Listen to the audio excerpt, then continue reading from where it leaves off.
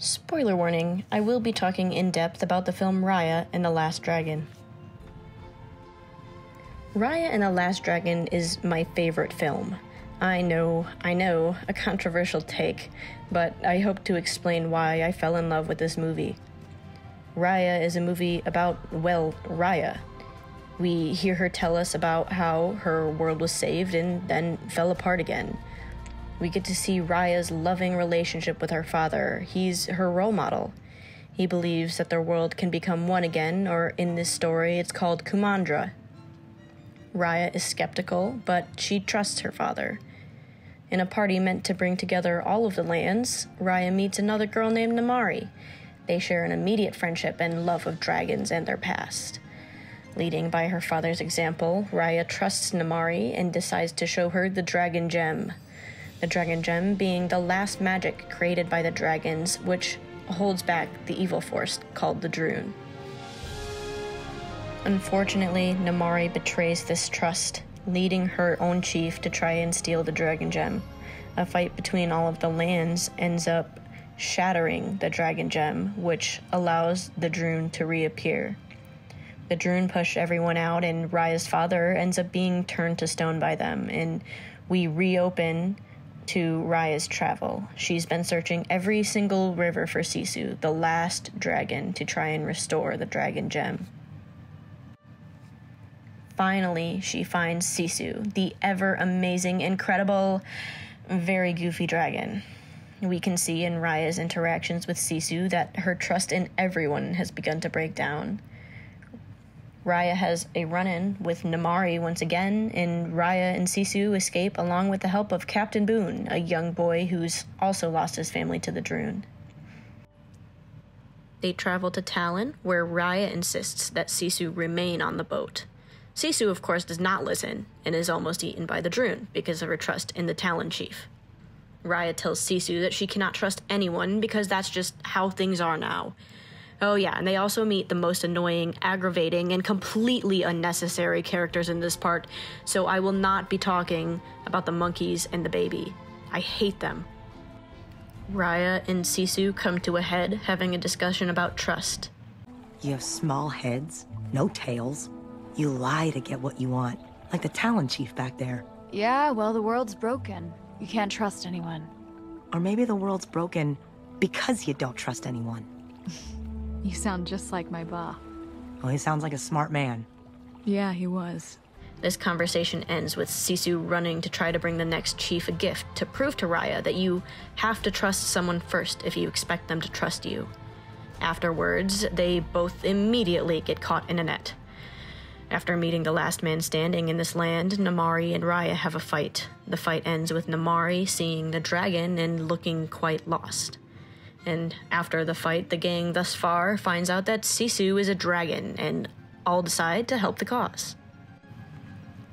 The final dragon gem piece is in Talon, which is where Namaari is from.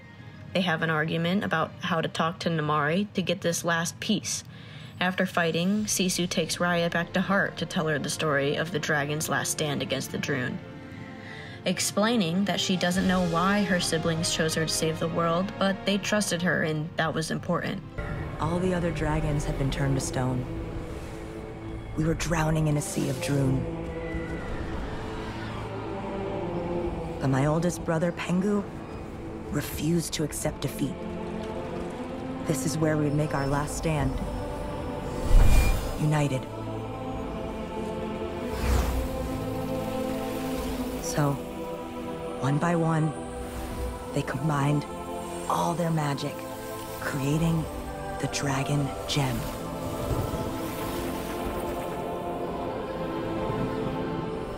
I don't know why they chose me. It could have been any of us.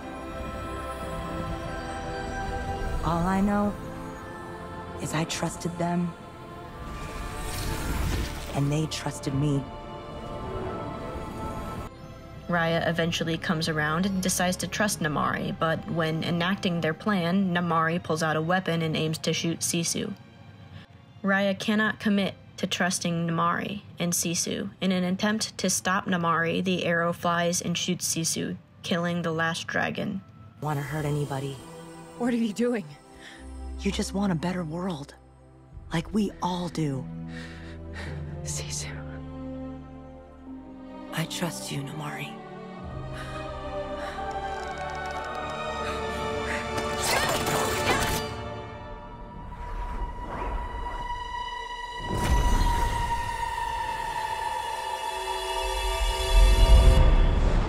The water leaves and the Druun are able to attack the last land now, and everything is falling to pieces. Angry, Raya and Namaari fight, but Namaari tells Raya that she is just as much at fault as herself.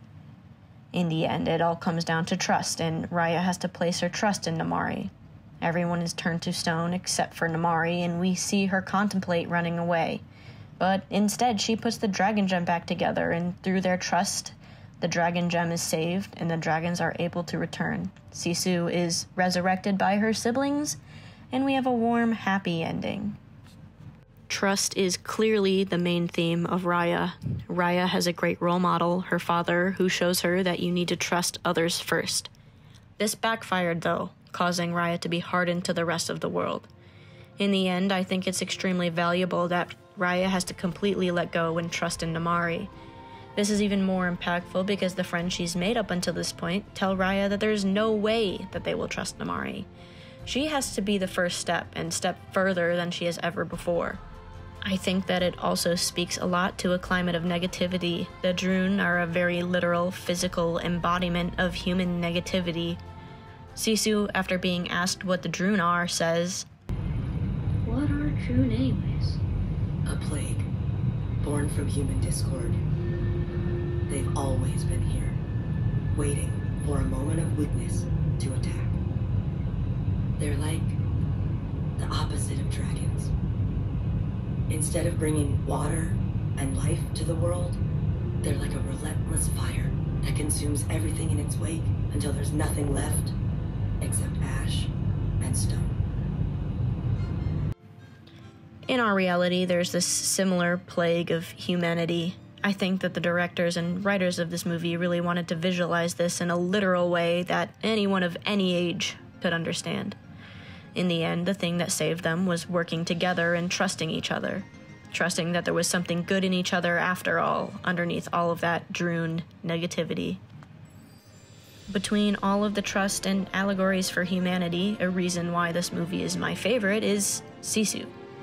She represents an almost childlike idea of trust. She's goofy and silly, and she makes jokes that are honestly not funny at all, but that's what makes her charming. She doesn't understand how certain people things work, and she can be serious sometimes, but some might see her level of trust as naive. Here's my plan.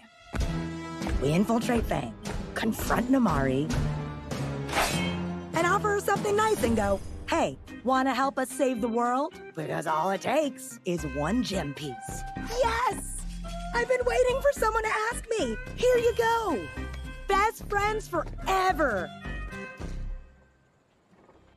We see her trust the old lady in the town, only to be backstabbed. We see how frustrated Sisu is by the fact that she was, and I assume that Raya sees Sisu as a child who doesn't understand the negativity of the world. But it's shown clearly that despite her goofiness, Sisu does understand. She trusts Namaari because she sees the good in Namaari despite Namaari's weaknesses. She isn't perfect by any means and may be a bit overly trusting, but she makes it work. In that sense, you could say that she's a foil character to Raya who, through experiences, doesn't trust anyone. A huge bonus for me is that this movie has three female leads, though one is technically a dragon, and they also have no specific romantic interests. There was definitely something going on between Raya and Namaari, but nothing in your face. It was very refreshing to watch a movie where there was no prince in shining armor to come and try to save them. It was just Raya and her friends pulling through a difficult situation, and I find a lot of worth in that. Raya wasn't alone. She did end up making friends, and she trusted them to a point. I think that meeting others from other lands who didn't betray her trust paved the way for her to trust Namaari in the end, even when those friends didn't at first. In the end, those friends decided to trust Raya after her own sacrifice. Bringing together everyone in the lands, just like her father had hoped in the beginning. Instead of looking at each other and seeing their differences as negatives, the ending brings them together and they are finally Kumandra once again.